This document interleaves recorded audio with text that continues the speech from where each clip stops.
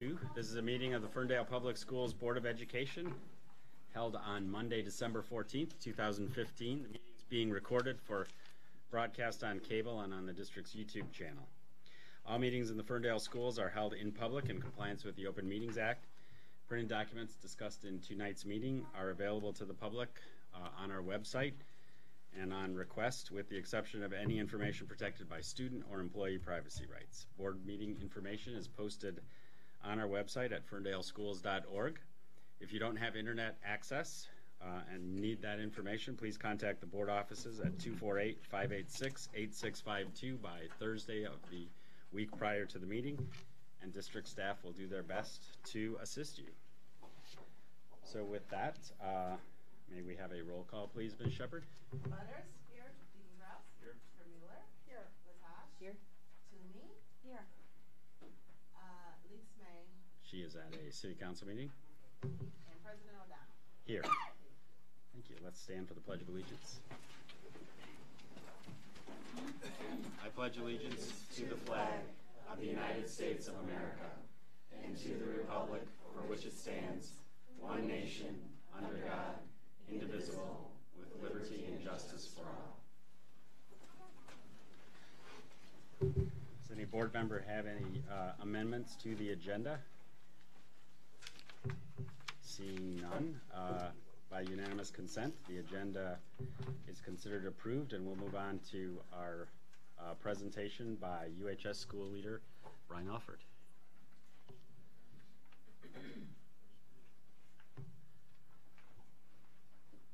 Good evening and welcome. Thank you. Uh, Good evening, uh, Superintendent Prewitt, board members, uh, central administration, community members. Uh, My name is Brian Alford, and uh, it's my first introduction to many of you. I am the student leader of uh, Family and Student Affairs at University High School. And uh, as soon as we get the projector up and going, I'll go through the presentation.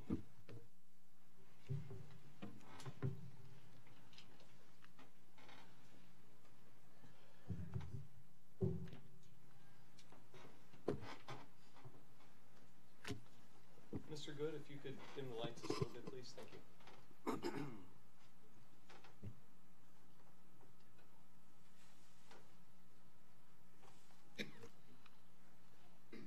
So I didn't do all this great work by myself. This is definitely a collaborative effort. Uh, Ms. Jeffries and Mr. Beatty, the other two principals there, uh, we like to welcome you to uh, some of our initiatives and focus for this year. Uh, we like to call it our year of awesomeness. Right. So uh, three of our focus um, initiatives. Uh, the first is a PD focus for staff this year uh, for culture and student engagement and questioning and discussion. Uh, for us to all grow in our practice around high-level engagement activities and workshop model instruction. Um, for example, uh, we have our teachers uh, reading three books. One is on helping students grow in questioning skills, teaching students of poverty, and also standards-based grading. Uh, next, we have growing our new and returning partnerships with universities. And then lastly, our ILTs, um, instructional lead teacher uh, team initiatives and college prep activities. So this year we have some new additions. Uh, we like to start off the school year with what we call first four days, which is an opportunity uh, because we have so many students coming from different uh, area schools uh, coming together. And one at UHS is uh, we do um, four days of activities to help them get acclimated to the UHS climate, um, as well as get acclimated to each other. And some of the changes we had this year were for the juniors and seniors who had already been through that process. We had a leadership conference. Um, so we took them through some different activities, um, some workshops to kind of help them uh, see how their role as upperclassmen plays a part in the culture, as well as helping uh, the younger ninth and 10th graders to know how to follow the UHS way is what we like to call it in our building. Uh, the College Focus Day, we had uh, panelists uh, from former UHS graduates come in and talk to the students. Uh, they always like the scavenger hunt, which is a lot of fun. Um, and then the college facts presentation is what I really enjoyed uh, with the Wayne State College Fair. So we had different colleges coming to our gymnasium from Wayne State. And a lot of the younger students usually don't a lot of times get to uh, interact with the colleges until they get into upper class grades. So with having, you know, about three or four different colleges from Wayne State there, the ninth and tenth graders had an opportunity to go around the gym um, and just see how it was to be at a college fair and get some pretty good information to get started in their high school career. Uh, next, we had uh, on the 17th, stand up to bullying, um, which we kind of changed it up. We had anti-bullying, which is kind of teaching kids don't be a bully, but we want the, the student body to grow and not just having people be bystanders, but to learn how to step in and advocate for others, um, stick together and stand up for each other. So we had stations by grade level, um, and then they created banners to put up in the school. Uh, the other great out, uh, opportunity they had, they had a public service announcement workshop where we allowed them to use their technology, um, and they had to go into the hallways in groups and create a public service announcement for standing up to bullying. So those were some pretty cool videos to, to take a look at. Um, then we have um, our Subway uh, partnership is with um, our PBIS partnership is with Subway. Um, so we use those within the building to give the kids positive rewards for when we see them doing pretty good things in the school, and we just like to feed them as well. they love to go and eat. Uh, just a few pictures of some of the activities that we did on the first four days. Um, the two students on the right are two of our senior students um, who are involved in DECA, and we're working together right now on a project um, where they want to just kind of bring awareness to students to be able to take ownership of, you know, we all have different strengths, uh, different challenges, and so we're kind of working collaboratively uh, to work together as a whole school to do that project. So um, they've been putting in some good work.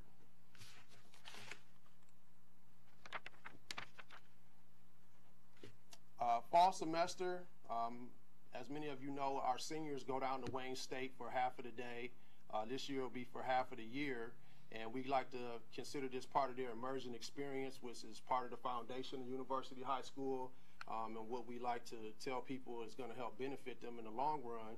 So they've been going down um, and having these different activities. They had the welcome panel uh, where you have different colleges come and talk, um, different people from different areas of the college come and talk to the students, um, as well as uh, visiting different uh, colleges at the university. So they go into the psychology department, uh, engineering department, um, and a lot of the professors that are part of the Wayne State Advisory Board have been very supportive. Um, they've been very outgoing and helping to support our students getting into those different colleges down there to see what that's all about. Uh, they go into the library, do a scavenger hunt, um, and get acclimated to the different services in the library. Um, the C2 pipeline, uh, the money, some of the money that they were granted through their grants. Um, and the C2 pipeline is an after school program where we partner with Wayne State um, and help the students in science and math. We were able to take some of our senior students and go down and they built a state of the art uh, lab on the Wayne State campus for this program. And so our science teacher spoke today, and that was one of her celebration uh, speaking points is that she was so excited that our students were able to operate within a state of the art lab and really have a great experience down at Wayne State. Um, another part of our focus with our partnerships is the 3D uh, printing, uh, which was a donation uh, where we're working with the C2 pipeline as well. And our students have been working with some of our teachers um, with this program. And I think the last thing that they created with the 3D printer were whistles. So you just hear kids going around blowing whistles, but it's pretty cool when, if you've ever seen it, uh, to see how you can create things with uh, a 3D printer. It's pretty awesome. Uh, another part of uh, extending our partnerships, um, we've really been working on this, is that um, the teaching, student teaching lab school. So right now we have 16 um, pre-student teachers within our building, and they've paired them with various different teachers. Um, but what's been really been beneficial is that it gives us a lot of flexibility to be able to help some of our other students that may need help in various areas in smaller group settings. Um, so in some classrooms, we actually have two student teachers um, along with, you know, the primary teacher. So it's really been quite helpful. Sometimes you go into the room and you see two or three kids in there really engaged in learning, um, and then as well as student teacher really having a great experience to be able to, um, you know, work with students on a smaller scale. Another part is our Baker College Early uh, College Program. Currently, we have 32 juniors from our school um, enrolled in this program across the four different majors. Um, they go at various times to the actual Baker College um, campus um, and do various activities. Right now, they go to and do their online classes four days a week, and on one day out of the week, they come over to uh, Ferndale High School where they actually meet with their professor and do work um, in their program with their professor. Uh, currently, at this time, um, they've had some experiences. I know one day I saw the kids in the lunchroom with the uh, garden fresh with the nachos and the salsa, and I'm like, man, where all of this stuff come from?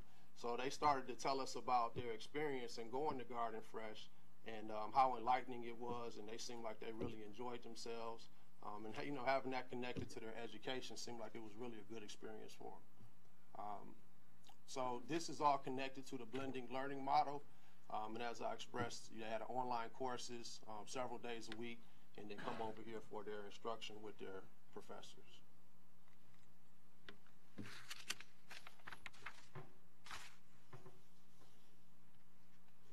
Uh, just some more pictures of the students operating in the lab down at Wayne State. Um, I believe on the right um, and also on the left. Um, it's just been good. They, I think they just recently had a panel down at Wayne State as well. And I know when I was going down as the college transition um, advisor, the students really, really absorb um, when you have people that are closely, more closely related to their age, and they talk to them about that experience of going to college, the different pitfalls and what have you. But they really have their uh, ears open to hear from them. So that's a good immersion experience. ILT led uh, school initiatives and extended learning opportunities. Um, these are some things from last year. Uh, Got Science program, uh, Little Bits Engineering Activity, Authors Inc., um, which is an after school writing club. Uh, the students have really started to get into that. They actually published a book last year, um, and we have that um, in the office, and it's really been a great work to just see them grow in that area. Uh, the SAT camp uh, on Saturdays. We just had one this past Saturday. Uh, we had a pretty decent turnout. Um, so Ms. Jeffries was actually over that. Um, it's a pretty good deal. And then what we have new for this um, coming year, the SAT Word of the Week app for juniors. So again, using technology, um, our ILTs have created uh, the little scan codes, and they have them posted all over the building so the students can go through and when they see one, use their phone, scan it, and then it'll pull up the Word of the Week and just something, you know, to kind of keep the kids engaged um, and let them know that the SAT is coming, uh, and you do want to continue to keep working anytime that you have an opportunity to grow. Uh, monthly Tech Club, Club, again, working with the 3D printer. Um, upcoming APSA Endurance Workshop. Uh, this is a focus that we have to really try to help the students get more stamina. Uh, you know, when you're taking any type of standardized test, um, especially when you're doing an essay, you get tired, you get fatigued. So just like lifting weights, you want them to get more stamina mentally. Uh, so they created this opportunity for them uh, to write multiple, multiple essays and build their endurance before they get to the actual test. Uh, standards-based grading monthly meetings, the lunch bunch readings.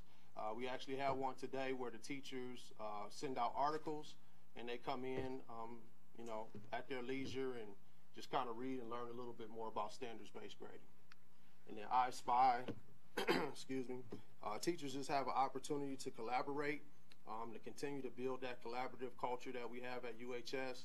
And, you know, teachers can go into each other's classrooms and just pick up little, um, you know, techniques and strategies uh, to be able to improve their practice.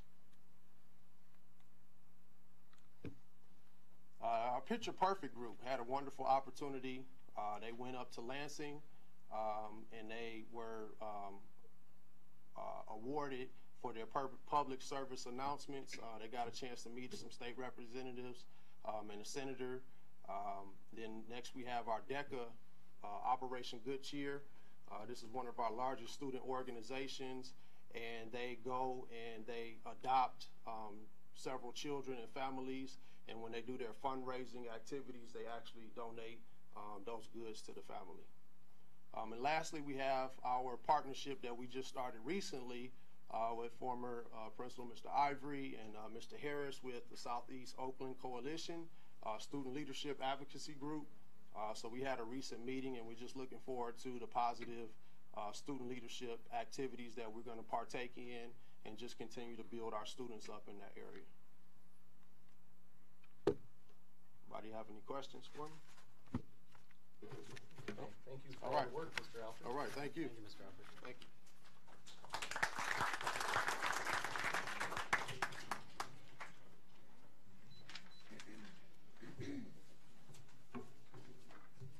Next up, we have uh, our student representative section of the meeting, and I see Sunasia Smith is here from UHS.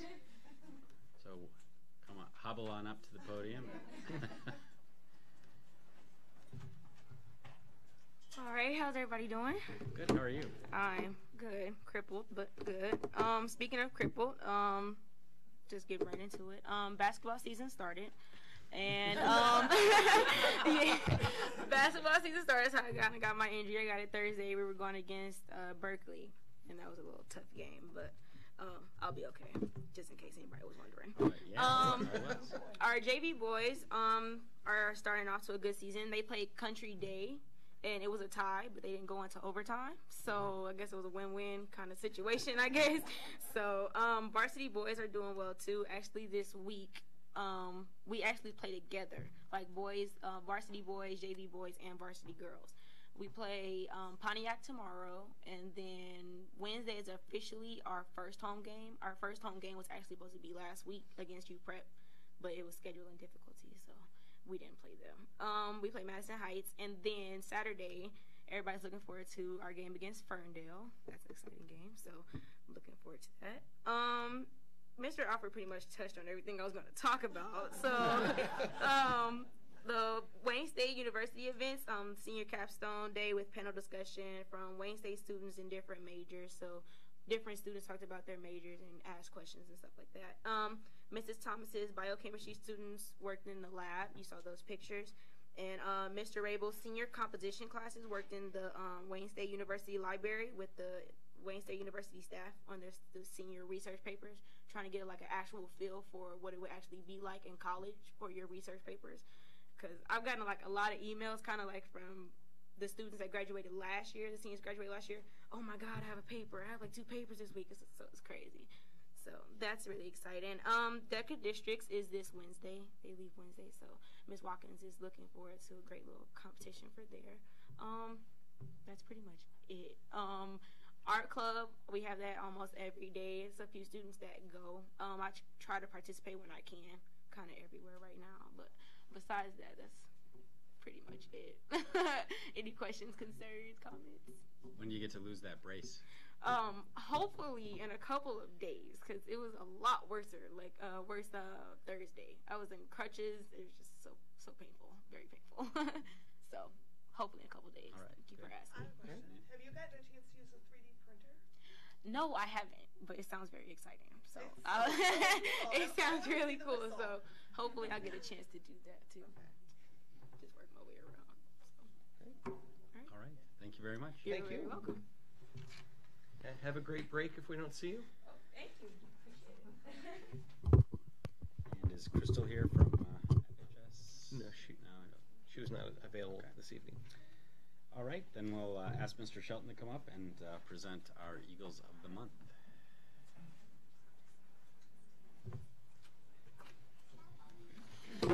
Thank you very much. As you know, uh, we've started this program this year to, on a monthly basis, acknowledge uh, both teachers and support staff who uh, go above and beyond to really make a difference uh, for our district. And this is our Eagle of the Month program. And I have tonight a support staff person, an elementary teacher, and a secondary teacher that I'm proud to uh, give some public recognition to for all the good they do for our district and our kids. Um, the first person I'd like to uh, acknowledge is Mr. David Straka from the uh, uh, Career Center. And if you'd like to come on, Mr. Straka. Uh, David was nominated by his supervisor Pam Belliver, who's in the audience tonight, um, as is Mr. Straka's mother, from what I understand. Mom, right here, picture. All right. Hey, mom. Um, and I'd like to share a little bit of what uh, Ms. Belliver shared with me about David and his work at the Career Center. Uh, David is a career advisor. Uh, he is constantly working with other offices to upgrade the Career Center's forms and processes to incorporate new policies and remain compliant. Uh, David takes on additional responsibilities without concern or complaint and is always willing to help other coworkers with anything that they may need that they may need assistance with. He is always researching new ways to help customers and epitomizes teamwork. Um, and uh, Ms. Belliver nominated David actually for the last two months, and uh, thank you for your persistence in helping us uh, get some right recognition for David. So, congratulations.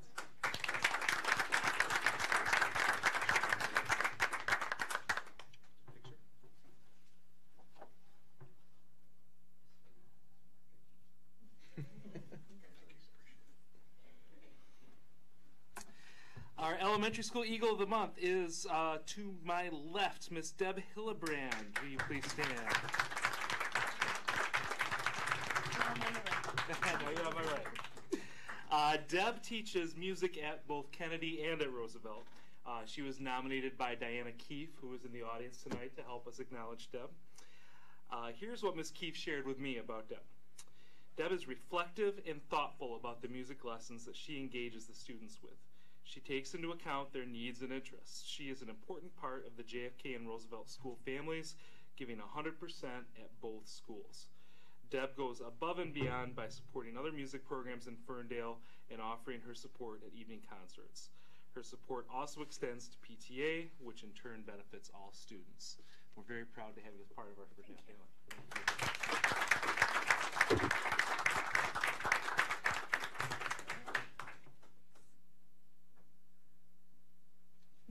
Congratulations. For our secondary teacher Eagle of the Month, this worked out really well because this is also a, uh teacher who's here for a different reason tonight as well, and that is uh, Rick Puranak. Could you please come on?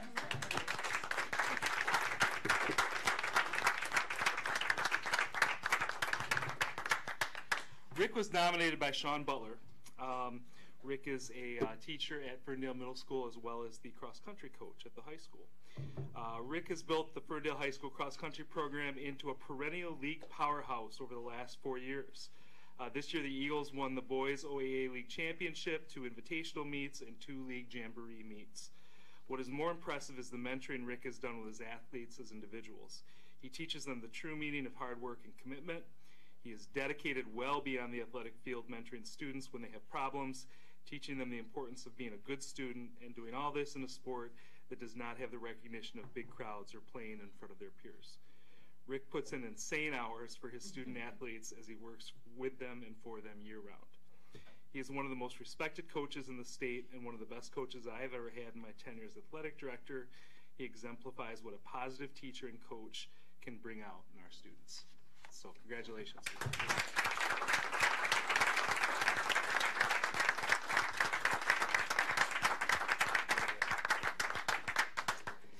And I will be back next month with uh, more good news, more good recognition to share.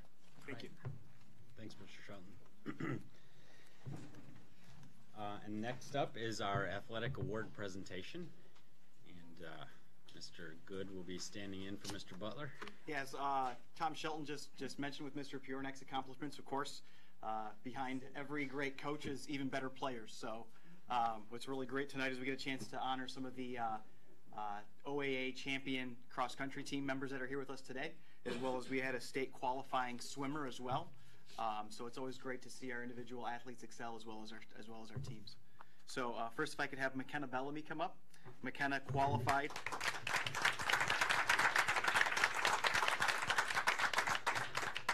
McKenna qualified for the state meet uh, in swimming in two events. Which events?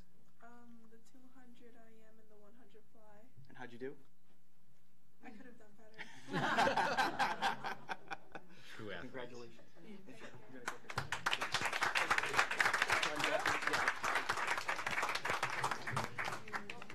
Congratulations, great job. Thank you very much.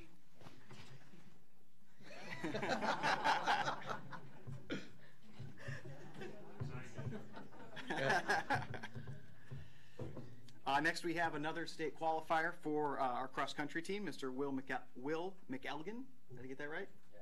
all right.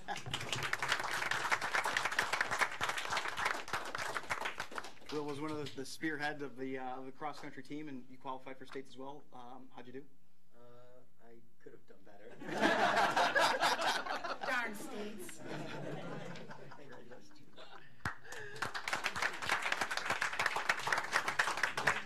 Thank you very much.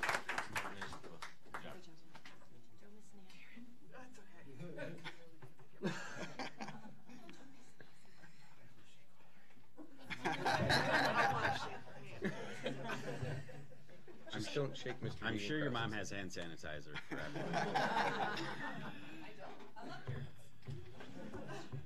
And finally, with us tonight is Mr. Jacob Keener. If you could come up too, please.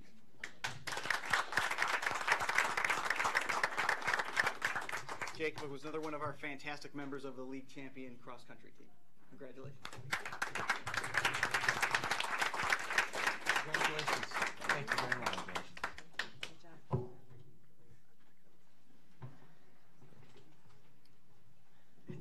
And- And obviously a member of our robotics team also. That's right. Excellent. So it was a fantastic fall for our sports. We're looking forward to an even better winter. So uh, we'll see you guys in a couple months with uh, some more athletic awards. All right. Thanks to the moms and dads too. And for and for the parents and the students, I know you probably have a lot of different homework, so you don't need to stay around um, unless you really want to. But feel free to to head home and.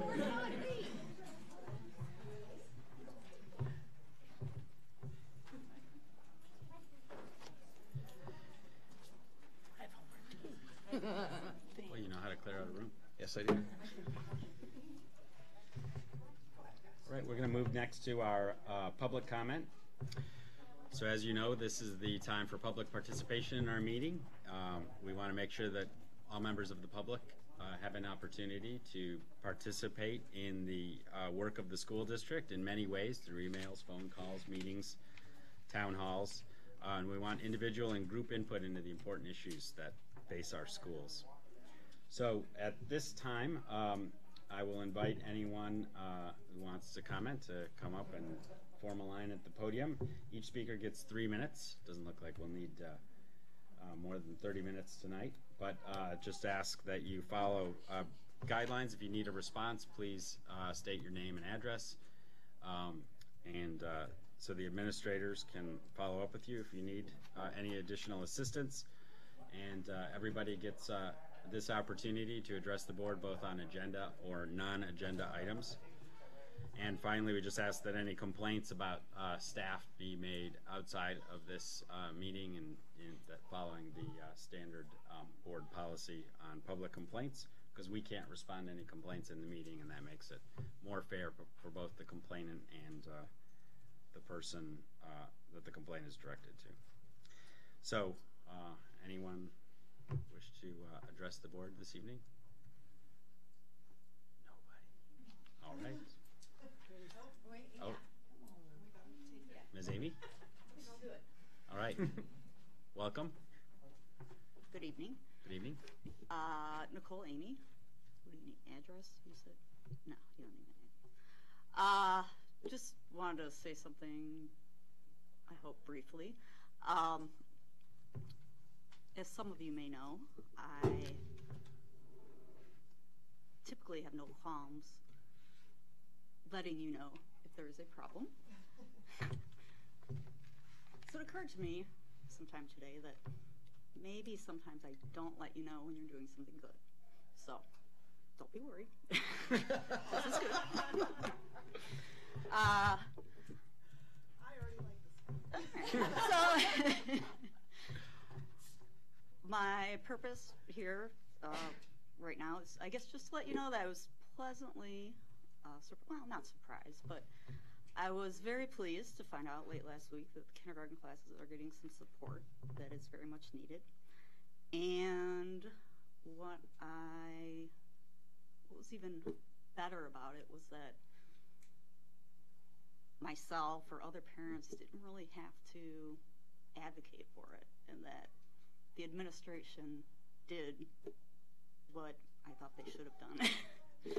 and and not that the parents didn't raise some concerns or plant a few bugs in some ears, but uh, in any event, I do appreciate the hard work on that. Uh, it does mean a lot to myself and other parents. So thank you. All right, thank you. Thank you.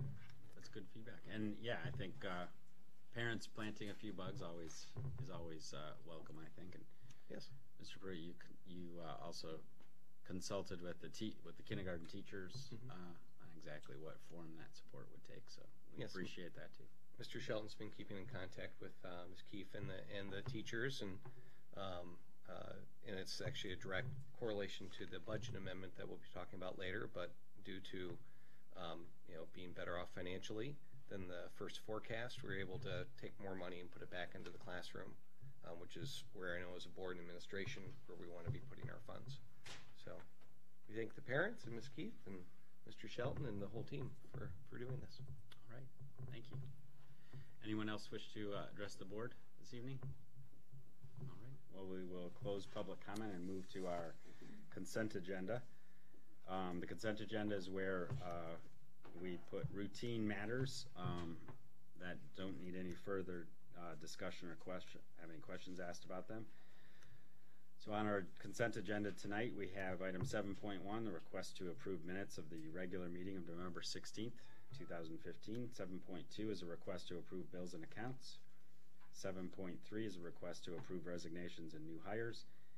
And item seven point four is a request to approve a letter of intent for an insurance proposal. All of these items are in the board packet. Uh, does any board member wish to remove any of the items from the consent agenda? Seeing none, I'll entertain a motion to approve the consent agenda as presented. Moved by Mr. Deegan-Krause and seconded by Ms. Butters.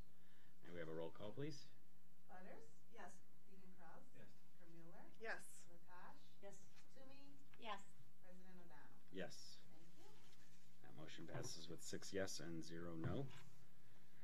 So the uh, consent agenda items are approved collectively.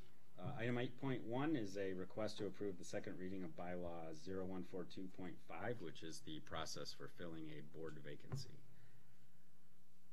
Do you want to present this or, okay? Um, trying to pull it up here for a second. Um, at board, and this is our, our second reading. Um, last month we presented this bylaw, uh, updating our bylaw. Uh, since there were uh, some concerns from the board governance committee uh, regarding not having a, a robust process of if we, if the board gets to a stalemate with multiple votes of, of three, three, um, what would be that process? So this is what the governance uh, committee has recommended. Uh, we had the first read last month, and it's looking to see if there's any uh, questions after the having the last month to review this. It's forty-four and forty-five of the packet. Although it's forty-eight if you're going through the public one. I think. The public one has more pages? I don't know, it's on It's, page it's, forty-eight for me. it's the way it downloads from the system. Maybe it's just spaced out differently. But yeah, I was like trying to find it because I don't know. Chris's computer doesn't have it, so I can probably does though. So the, the governance committee made any changes from last month? Nope, no, moved it forward as is. All right. Uh, we can have more discussion when there's a motion, so I'll entertain a motion to uh, approve the bylaw change made by Ms. Latash, seconded by Mr. Deegan-Krause. Discussion on the motion. All right, seeing none, uh, uh, we will move to a roll call, please. Deegan-Krause? Yes. Camilla? Yes. Latash? Yes. Toomey? Yes. Butters? Yes. And President O'Donnell? Yes. So it's six yes votes and zero no. That motion passes and the bylaw change is approved and will go into effect as of today, which we will use on January 4th. Um, Item 8.2 is a request to approve the uh, second read of our Neola policies, which were voluminous. Good evening again, everybody. Um, you have in front of you a second read for the packet of Neola. Uh, you'll recall that Neola twice a year gives us these big packets of updates that they recommend for us based on uh, legal leg and legislative change, changes. Um, this particular packet from Neola, the, the- I went through it in detail at the last meeting. Uh, most of the changes in there have to do with changes in uh, federal procurement uh, requirements. Uh, there's some in there from new USDA regulations, uh, and uh, there are some in terms of our district-wide weapons policies, um, which are really not a change in policy for us, just reaffirming, um, again, that our, our schools are all weapon-free zones. Um, so um, I can answer any specific questions anybody has. That's kind of the highlights of what's in this Neola update. All right, any questions on the 140 pages of 40 policies? You It know, looked pretty standard. yeah, I think they're just standard things bring us into compliance. Um, I'm just curious how often the proposed, um, changes end up coming up in your interactions with the various union leaders and such, because obviously they go to their own, you know, unions to hear what the legal changes are in the law, but Sure. do these end up coming up in those conversations Not a whole lot. well? Not a whole lot. Um, you know, when they're specifically related to personnel and personnel issues, layoff recall, for example, obviously there's a lot of discussion around those. But um, other than that, no, we don't have a lot of discussion with our union leaders about policy. We, as, uh, as, as the board knows, we do uh, meet for union leaders before every board meeting to go through items. Um, so they have the opportunity to look through and see if there's any discussion. Um, as, as, uh, I forget if it was, um, uh, trustee Kermuller, if, if it was, uh, you that said these are pretty boilerplate.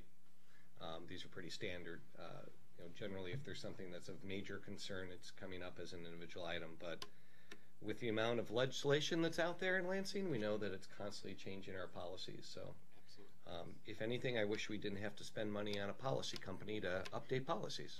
Right. Well, and I think that's what I was trying to highlight is, you know, since we're having a kumbaya session tonight of what's going right, I mean, that's another piece of the relationship is that we do sit down with our union leaders ahead of meetings and say, hey, this is what's on the agenda. Absolutely. going good. So relationships are very important. So, uh, yeah, and any member of the public can page through and see where the choices that we've made, where we have choices, but for the most part, most of these pages are uh, out of our control. Right.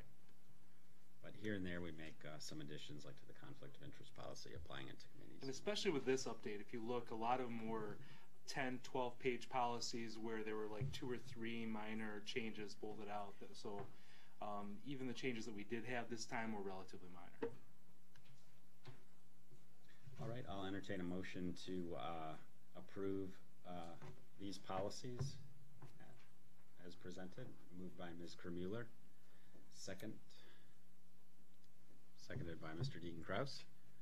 Any discussion on the motion? All right, roll call, please. Carmilla? Yes. Natasha, Yes. Toomey, Yes. Butters, Yes. Deegan-Krause. Yes. President O'Donnell. Yes. With six yes and zero no, the motion passes and the policies are approved. Thank you. Yes.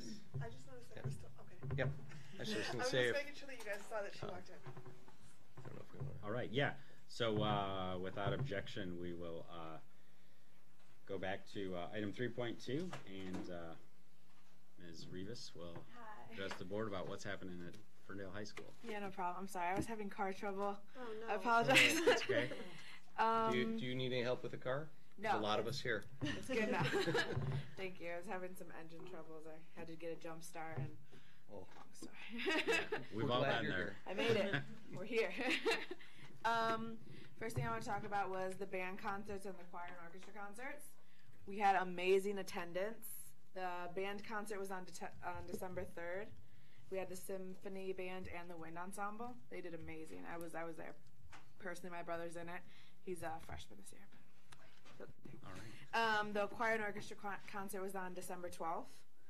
Um, we had about we have about 35% of the school body, the student body, is in either choir, orchestra, or band.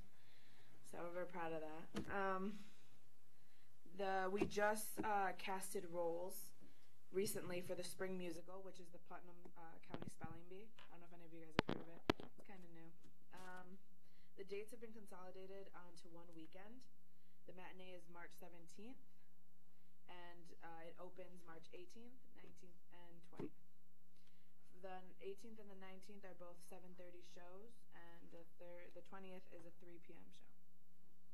We, this past Saturday, we held our uh, second SAT camp. We had about 70 students, approximately about 70 students uh, took the WorkKeys te- part of the test. Yeah. So, and we'll we'll get the scores back to them by the end of break or when they we come back from break. Um, they also did two reading samples, as uh, like two reading samples from the test that they are going to be taking. This past Sunday, we had we held the senior citizen luncheon. Uh, that's hosted by USA. I'm ooh, sorry, I'm a part of USA, and um, it's one of our like most cherished like events. We we that's like it's like our baby. Unfortunately, this is my last year in USA since I'm graduating, and it was really hard to let it go. I was very excited. They they were all like wishing me goodbye, and I was, oh, almost teared up. um, wrestling to sports news. Wrestling just won the Marine Corps Toys for Tots uh, tournament. Yeah, it's pretty good. Uh, we had also had an individual winner, Kobe Davis, who won gold medal in his class uh, weight challenge. And um, Saturday, the 19th, December 19th, we have, it's coming up this Saturday, uh, we have a basketball game against UHS. So it's kind of like a inter-district rivalry. Um, we have 11:30 game. It's the JV boys. Uh, one o'clock game is girls varsity, so it's both girls and boys against each other. Um, I mean, not against each other, but it's both both of the teams. Um, and then we have our boys varsity team at 3 p.m. So I hope to see you guys there. All right. And that's all from my end. Sorry. Thank you very much, Great. Crystal. Thanks a lot. Let if you have trouble with the car.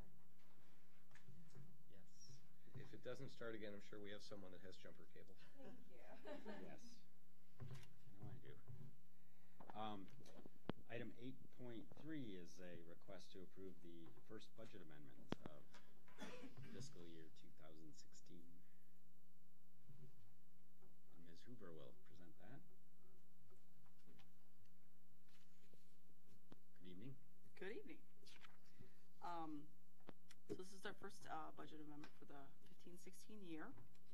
Um, as you can see, we've made um, some substantial uh, increases both to revenue and expenditures, which um, is a good thing. Um, the major change in revenue, um, we're very conservative in um, our in the number of uh, students that we projected, um, and um, the enrollment. Uh, Bill's area did a really great job um, working to make sure we got as many students in as we could. And because of that, um, we had a very large increase over our projected enrollment of about 277 students. Again, this is an unaudited number.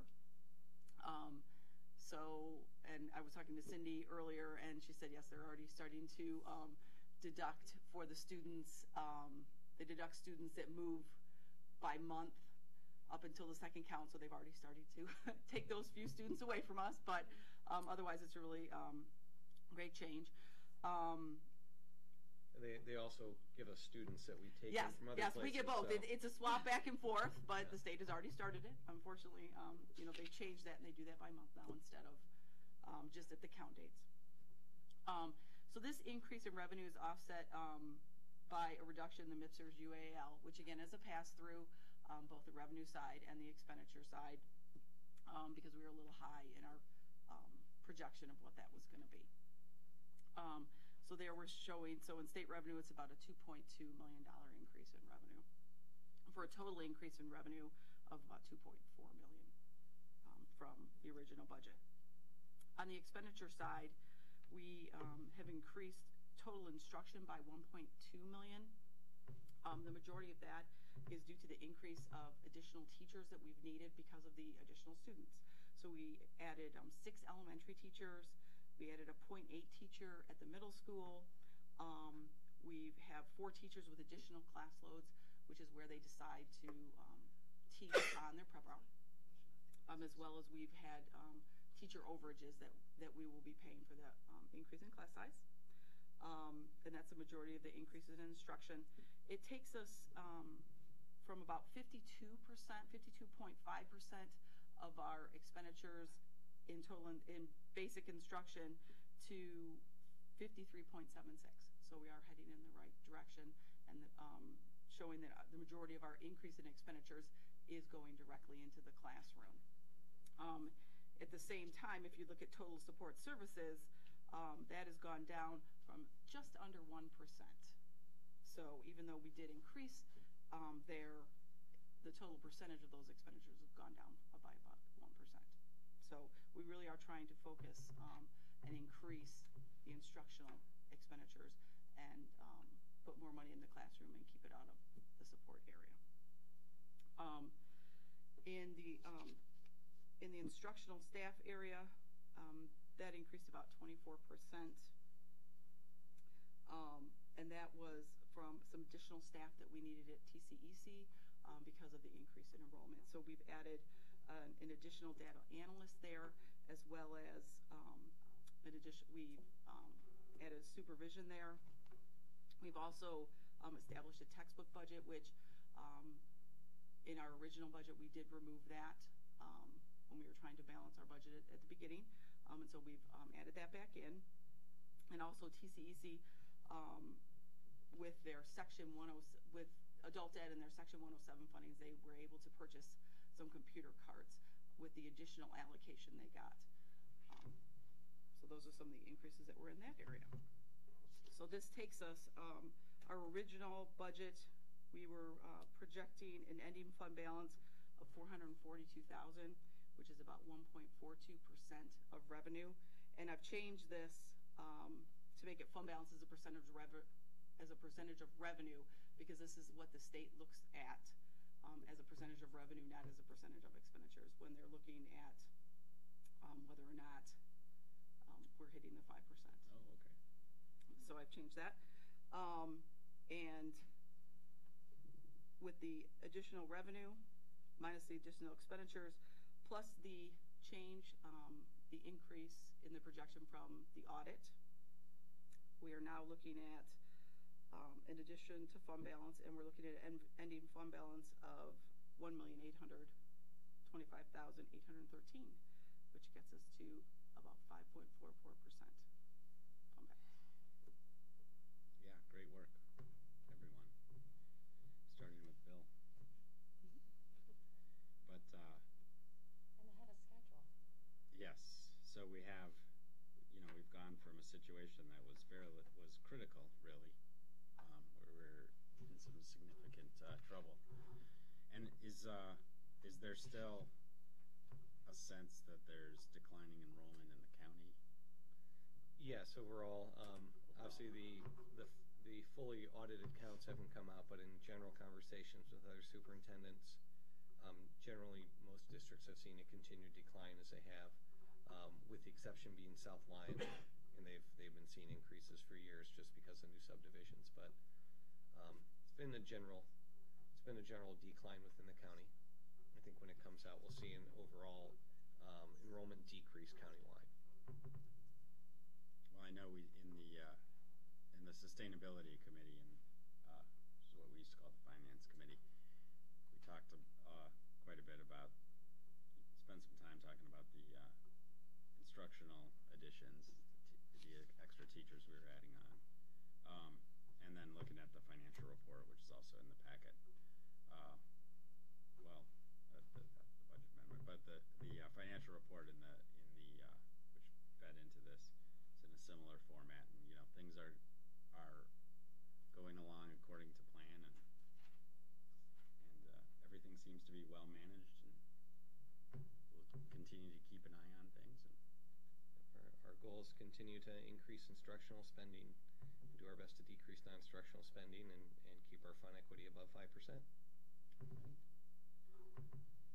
So I'll entertain a motion to uh, approve the budget amendment number one as presented. Moved by Ms. Toomey. Seconded by Ms. Latash. Any discussion on the motion?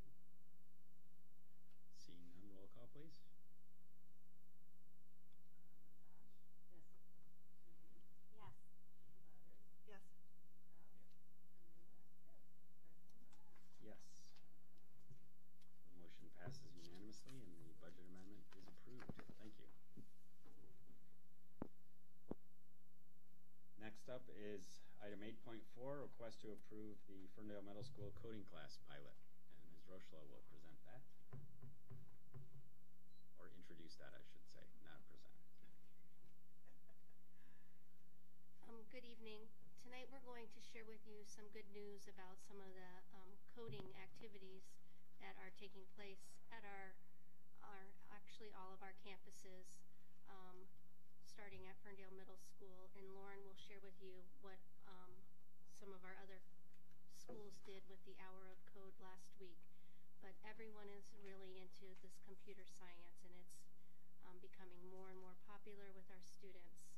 Um, so based on an after-school club that Lauren started at Ferndale Middle School, we are not now asking um, to start a pilot coding elective. One of our goals is to have some more academic type of electives for our students um, with this. Soon as our high school teachers heard that we were piloting this at the middle school, they are already asking if it's going to happen at the high school shortly. So with that, I will introduce Lauren, who will go through this short PowerPoint and share some of our success stories to date.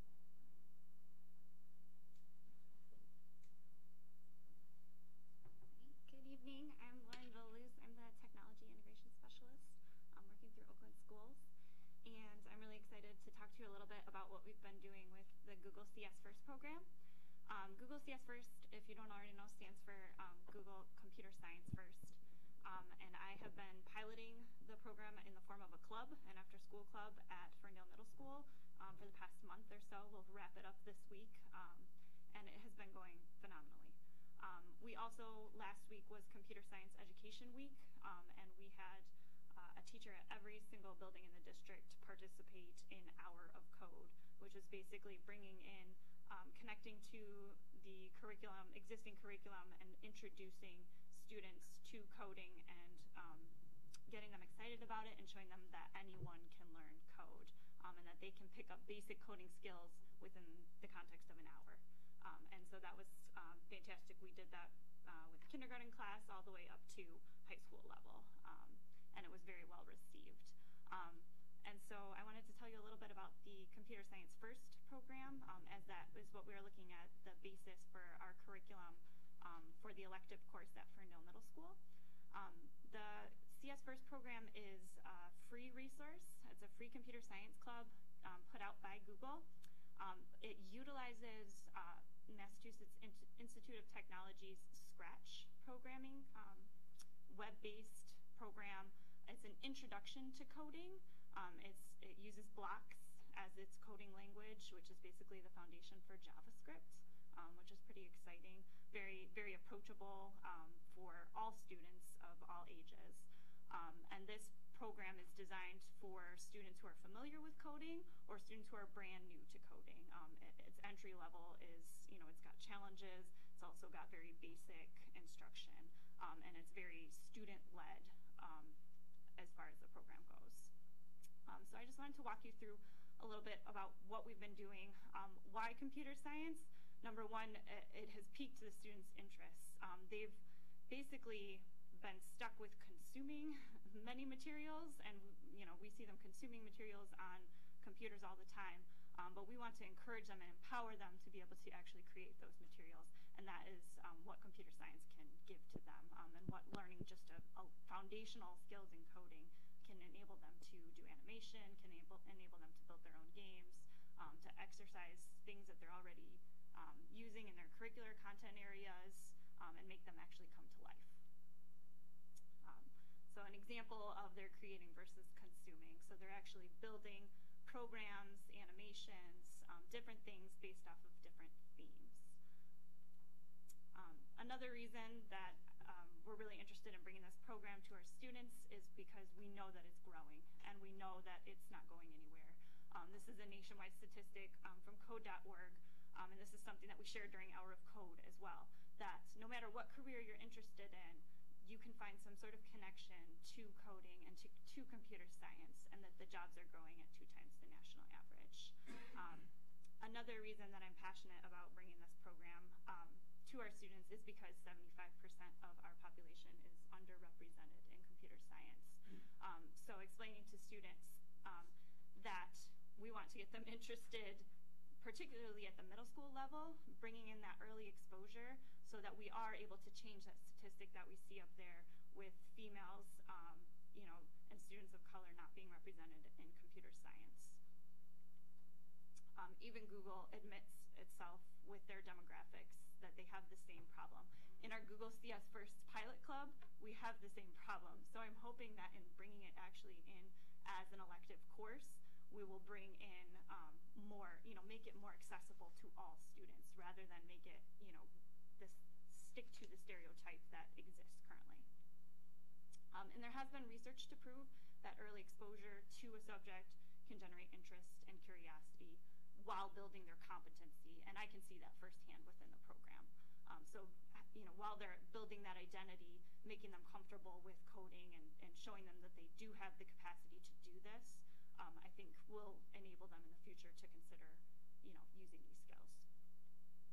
Um, the CS First key objectives are courage to try new things, confidence when using computers in general, because um, it's building even just general computer skills, scrolling and, you know, watching a video and comprehending. Um, perseverance is huge to tackle difficult problems.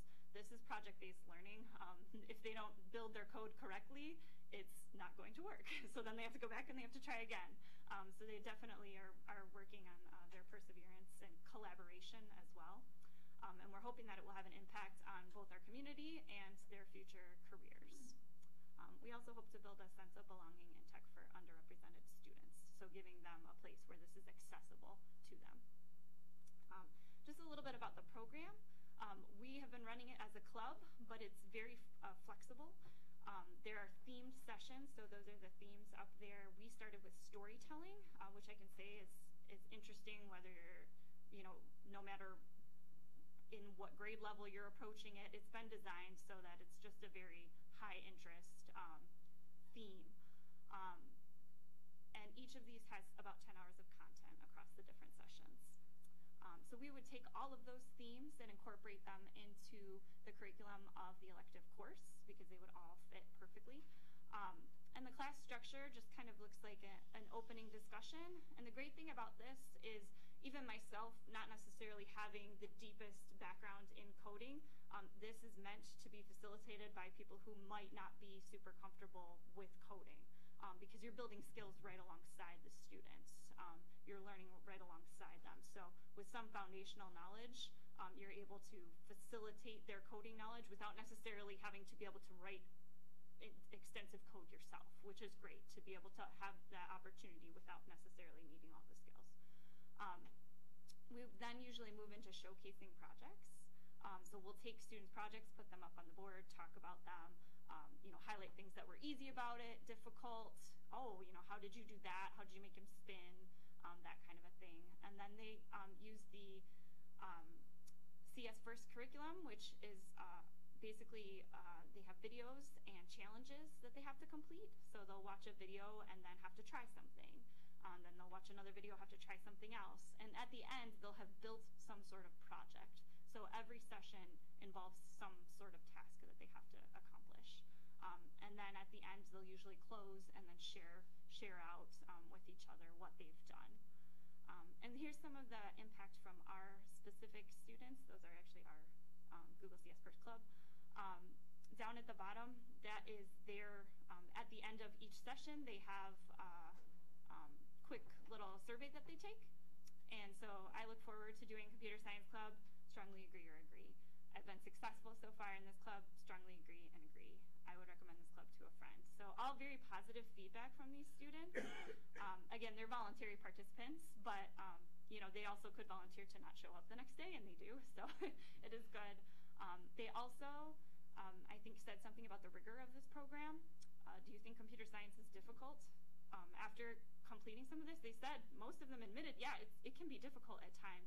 But the next question is, do you think it's worth the effort? And all, pretty much all agree that yes, most of the time it's definitely worth the hard work and the rigor and the you know the problem solving that I have to go through to be able to do this coding. So I think that's great feedback straight from our Ferndale Middle School students. Um, what we need to start basically with this Google CS First elective is a lab, a teacher host. Google CS First provides all the rest of the supplies. Um, so they provide an online platform for you to assign usernames and passwords for the students, and then the teacher keeps track um, of all of that data. Um, they have passports and badges just as a motivational tool as well for them to monitor their own progress um, through CS First. Um, and then there's also plans and solution sheets that would help the teacher to kind of facilitate the class. Um, I did want to show you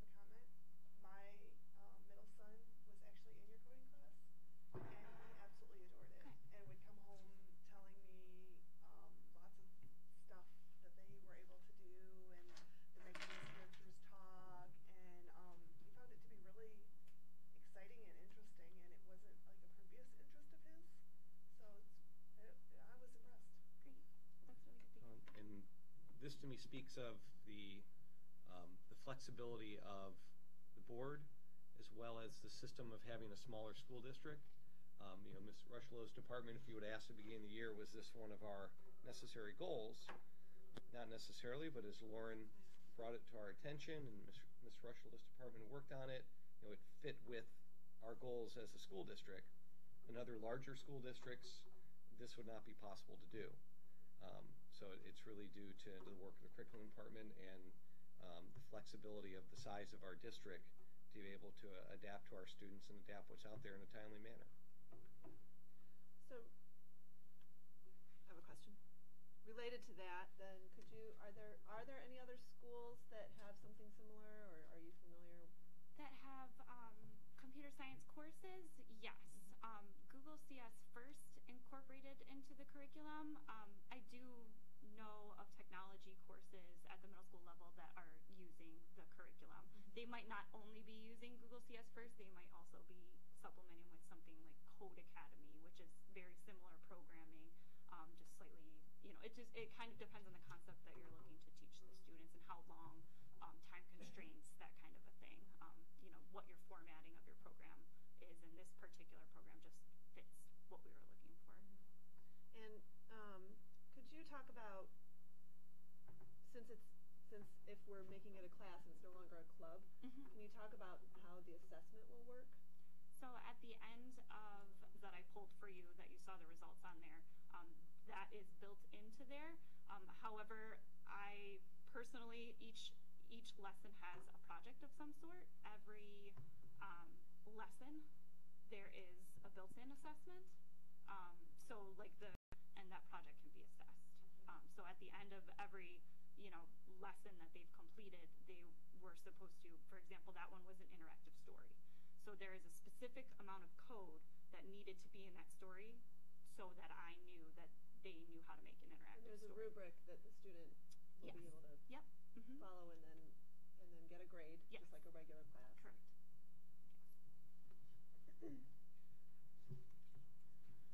All right, so uh, on page in your packet, the the uh, what, how, and why, and the curriculum proposal form start on page six hundred nineteen.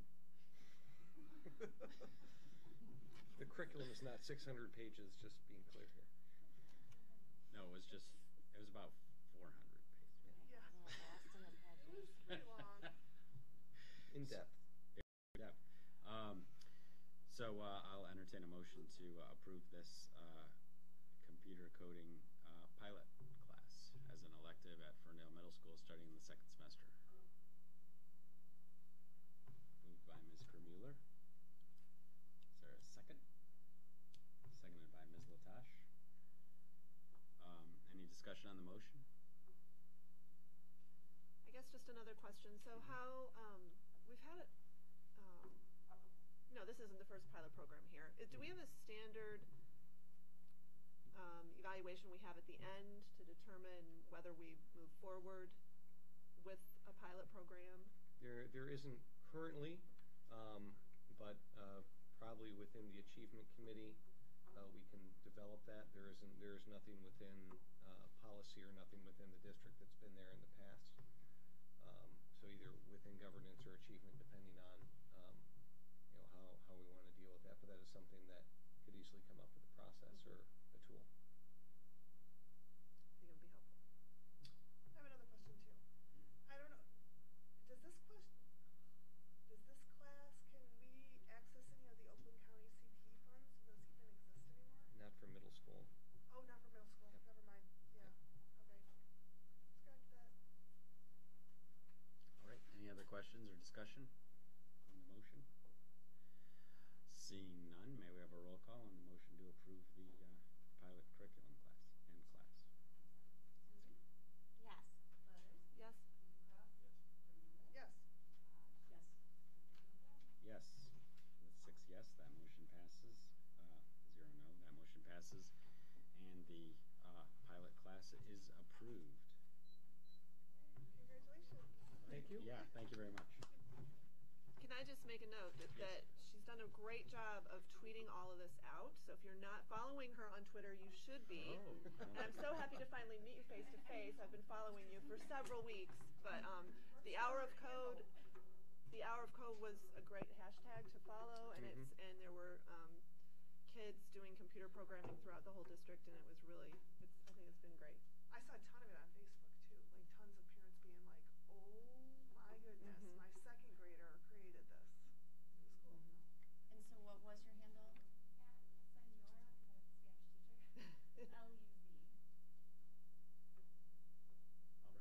All right. Thank you very much. L-U-Z. Just because you're not near the mic. No, I. All right. Well, thank you very much. Next up is our informational section. Um, so, item nine point one is the superintendent report. So one of the, the pieces that um, we discussed some in, excuse me, in the governance committee that I wanted to bring to the board uh, for discussion was looking at school board term policy. Uh, I believe right now, uh, looking at the six-year terms, there was some discussion from the governance members of moving it down to four-year terms as something that's a little more palatable to, to people as they sign for four years as, as opposed to six. Um, so as, as superintendent, I didn't necessarily have any uh, opinion honestly either way on it. Uh, it just depends on uh, what we need to do for the community to continue to attract good board members. So I just kind of wanted to bring that forward and see if there's any, any questions from board members regarding that. Um, we're going to have a little, little bit of uh, discussion regarding that or your thoughts. So, and Kevin, you had uh, done the legwork of getting a hold of uh, Joe Rozell at the Oakland County, the Oakland County Director of Elections in the clerk's office. Yeah, I, just to put this in context, uh, in 2010,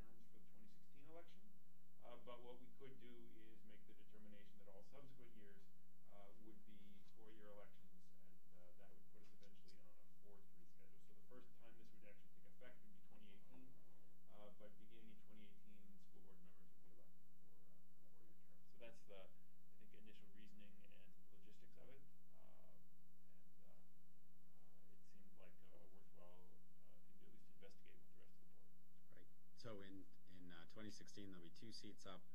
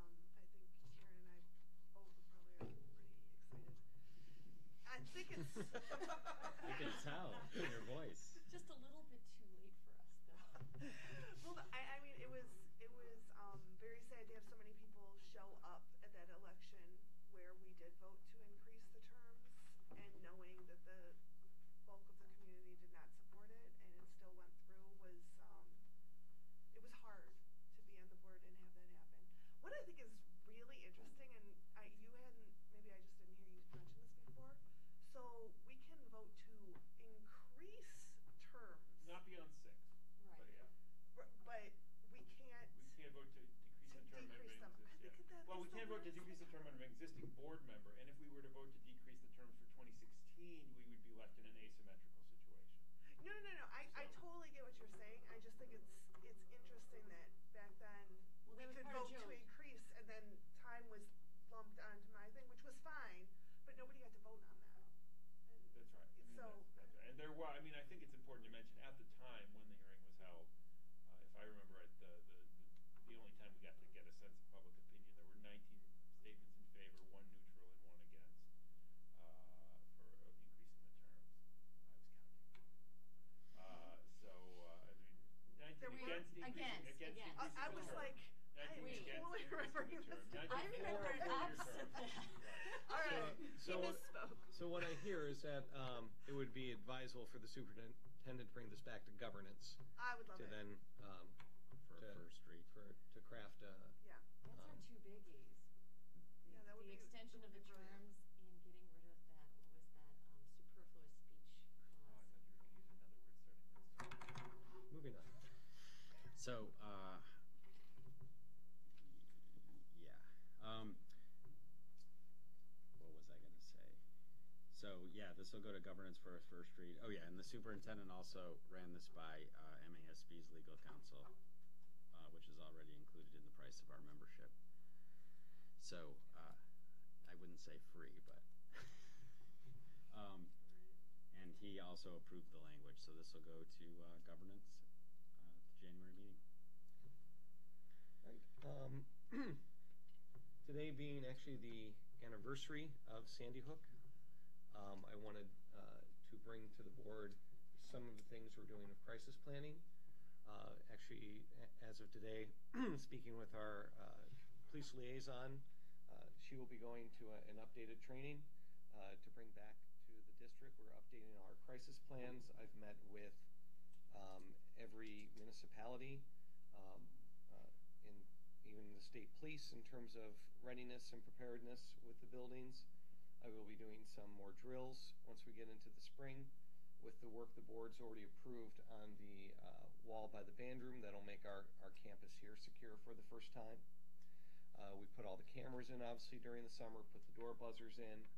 So uh, we're continuing our crisis planning. Uh, so there's some updating that we need to do within the different buildings, uh, but it's something that we're ongoing. Uh, so I think it's always important for us to, to be ready and also to let the community know that something that is in the forefront of our mind.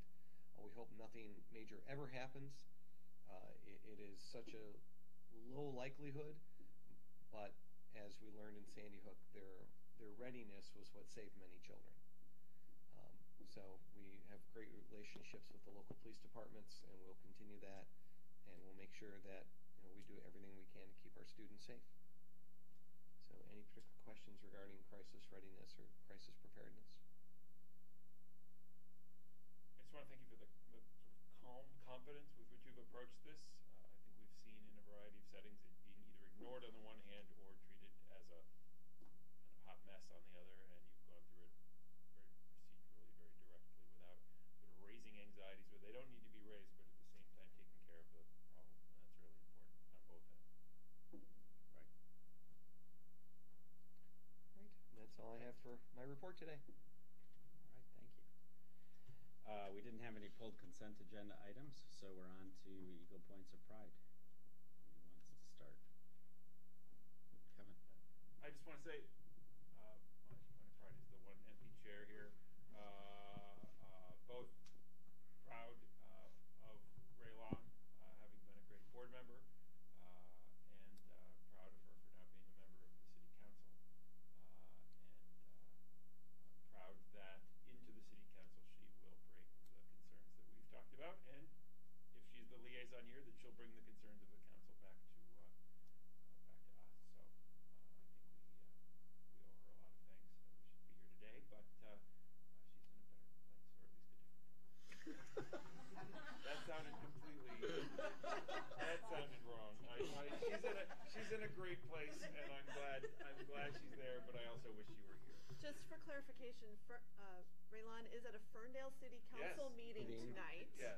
Yes. Which is not nearly as fun as our meeting. We've already established that. Right. Not But a better whatever. place. That's okay. Still fine. She'll do Did great she get things to there. watch Talking Fortune Cookies? I don't think so. Right.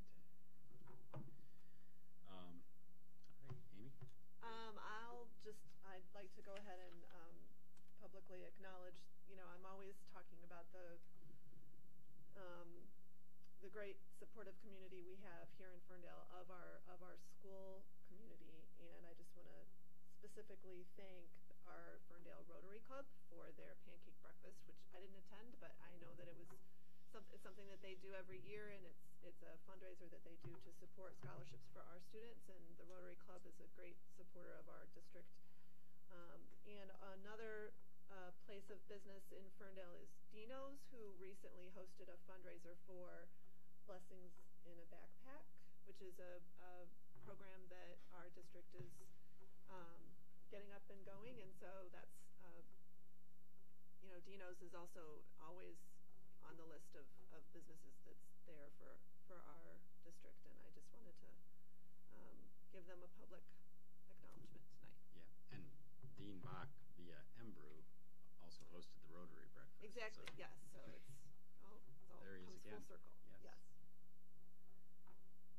So I was just thinking about how lucky we are in this community to have so many wonderful substitute teachers. I know that my third grader's teacher had to be out on a short medical leave, and um, it was just so wonderful that you know it was a retired teacher returning to the classroom that already had a relationship with the kids. And I look around that building and all the buildings and see how often we're blessed to have retired teachers, aspiring teachers, parents, just dedicated professionals that step in and keep our kids feeling comfortable in the classroom so that our teachers can take care of themselves or sometimes, you know, do their professional development.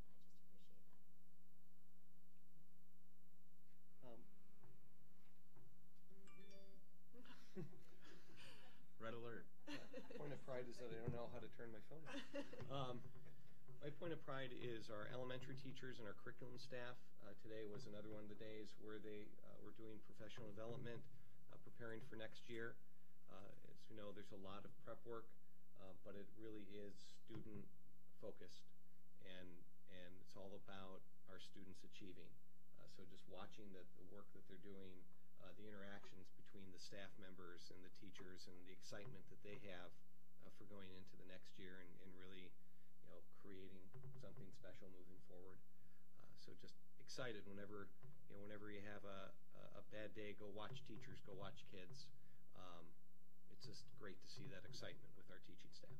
All right. Uh, I want to point out as uh, one of my points of pride the uh, little courtyard area that's dark right now, but if you ever walk by it when light outside, that used to be sort of a weedy, neglected mess, and now it's a very zen-like garden. Um, so I appreciate the people from the district that worked worked on that.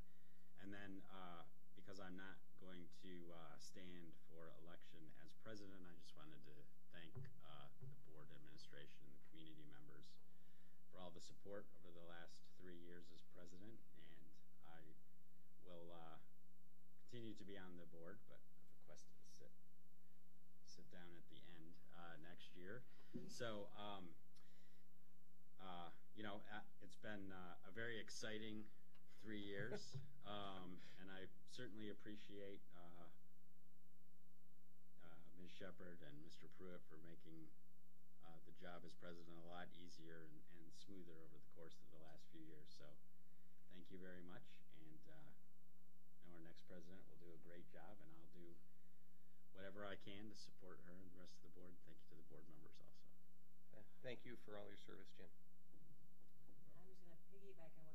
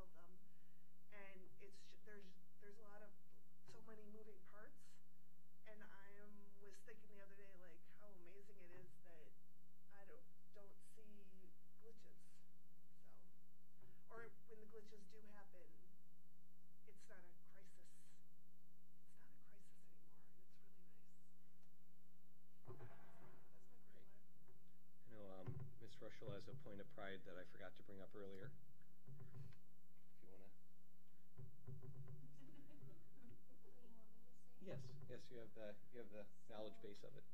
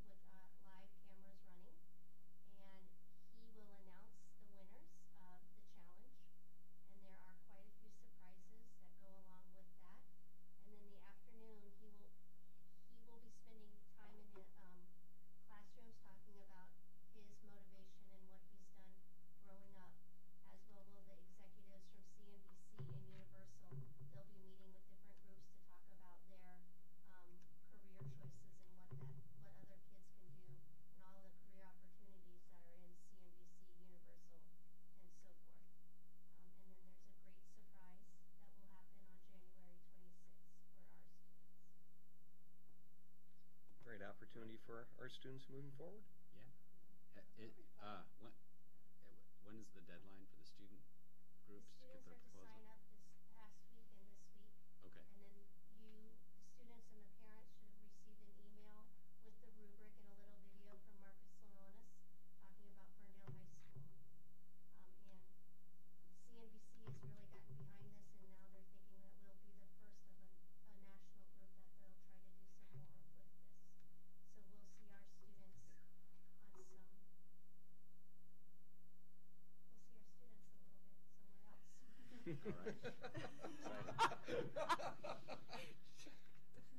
So, great. so we'll be bringing more information as, a as it's available.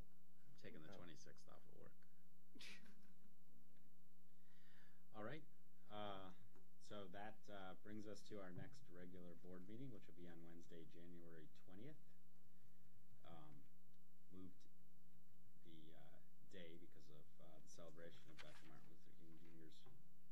birthday. And uh, we have, it on January 4th, just a note, we have uh, our special meeting um, preceding the organizational meeting to select a new board member and the organization meeting at which we assign committees, elect officers, and that sort of thing. So uh, with those notes, we are adjourned at 8.32.